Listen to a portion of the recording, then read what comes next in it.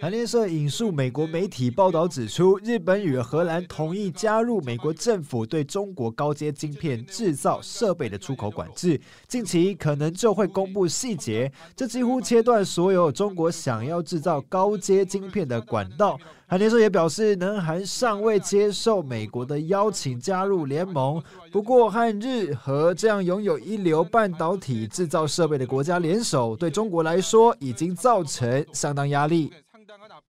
今後ともこの方針のもと、各国の規制動向等も踏まえ、適切に対応していきたいというふうに考えております。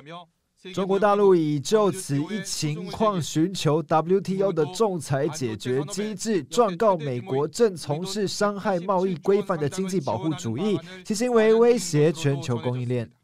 美国滥用出口管制措施，阻碍芯片等产品的正常国际贸易，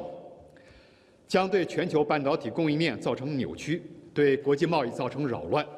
对于中国的指控，美国则提出反驳，认为出口管制措施是国家安全的问题，不适合在 WTO 讨论。此外，也有报道指出，大陆国内准备推出规模超过新台币四点五兆计划，以此扶植半导体产业。装设综合报道。